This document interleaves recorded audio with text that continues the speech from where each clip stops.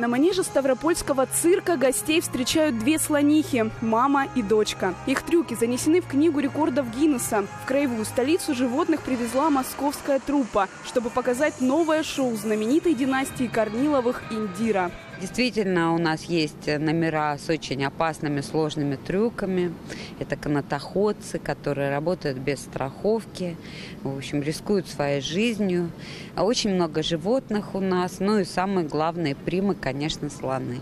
В грандиозной программе задействовано 60 человек и около 50 животных. Это настоящая волшебная сказка, которая будет интересна и большим, и маленьким зрителям. Мне больше понравились слоны, потому что они млекопитающие, и у них длинный нос называется хобот. Весело, молодцы, ребята хорошо выступают, и животные все ухоженные, как бы очень нравится. Спасибо большое за представление.